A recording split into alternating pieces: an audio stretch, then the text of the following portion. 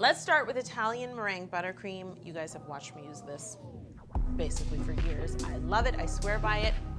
It's a fluff. How dare this fluff enter the studio? You boil a sugar syrup, sugar and water, you bring it to 240 degrees, and then while you're raising the temperature of that sugar syrup, you're gonna start to whip your egg whites. When it hits temp, you're gonna pour the sugar into the egg whites. It's gonna build a beautiful fluffy white meringue. Keep whipping that until it's completely cool, and then we start to shovel in butter.